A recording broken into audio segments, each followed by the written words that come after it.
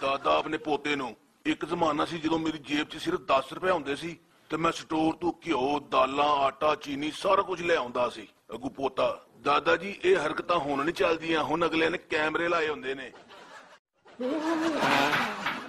ਇੱਕ ਸਰਦਾਰ ਮਿਊਜ਼ੀਅਮ ਗਿਆ ਤੇ ਉਹਦੇ ਕੋਲ ਹੱਥ ਲੱਗ ਕੇ ਇੱਕ ਕੱਪ ਟੁੱਟ ਗਿਆ। ਅਫੀਸਰ ਨੇ ਗੁੱਸੇ ਨਾਲ ਕਿਹਾ, ਓਏ 5000 ਸਾਲ ਪੁਰਾਣਾ ਕੱਪ ਤੋੜ ਦਿੱਤਾ ਈ। ਸਰਦਾਰ ਲੋ ਤੇ ਫਿਰ ਸ਼ੁਕਰ ਅਦਾ ਕਰੋ, ਮੈਂ ਤਾਂ ਸਮਝਿਆ ਸੀ ਕਿ ਨਵਾਂ ਵਾ।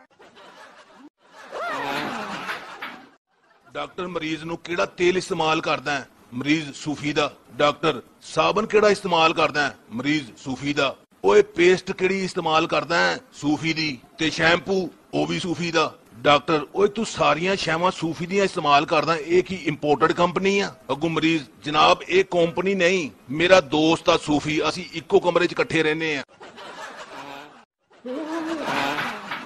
ਇੱਕ ਸ਼ੇਖ ਨੇ ਇੱਕ ਅਰਬੀ ਨੂੰ ਖੂਨ ਦੇ ਕੇ ਉਹਦੀ ਜਾਨ ਬਚਾਈ।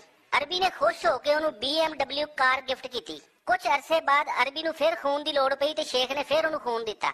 ਲੇਕਿਨ ਇਸ ਦਫਾ ਅਰਬੀ ਨੇ ਸਿਰਫ ਉਹਨੂੰ ਇੱਕ ਲੋਲੀਪੌਪ ਦਿੱਤਾ। ਸ਼ੇਖ ਬੜਾ ਹੈਰਾਨ ਹੋਇਆ। ਉਹਨੇ ਕਿਹਾ, ਯਾਰ, ਇਸ ਦਫਾ ਤੂੰ ਗੱਡੀ ਕਿਉਂ ਨਹੀਂ ਦਿੱਤੀ? ਅਰਬੀ, ਪੁੱਤ ਟੈਨਸ਼ਨ ਨਾ ਲੈ। ਹੁਣ ਮੇਰੀ ਰਗਾਂ 'ਚ ਵੀ ਸ਼ੇਖਾਂ ਦਾ ਖੂਨ ਆ।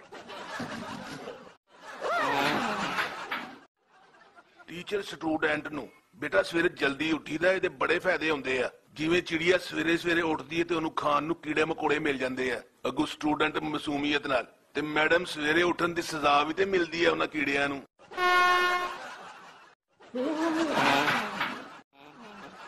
ਬੱਚਾ ਆਪਣੇ ਅੱਬੇ ਨੂੰ, ਅੱਬਾ ਜੀ ਤੁਸੀਂ ਹਨੇਰੇ 'ਚ ਲਿਖ ਲੈਂਦੇ ਹੋ? ਅੱਬਾ, ਹਾਂ ਪੁੱਤ, ਕਿਉਂ ਨਹੀਂ? ਬੱਚਾ ਤੇ ਫਿਰ ਲਾਈਟ ਬੰਦ ਕਰਕੇ ਮੇਰੀ ਸਕੂਲ ਦੀ ਰਿਪੋਰਟ ਤੇ ਸਾਈਨ ਤੇ ਕਰ ਦਿਓ।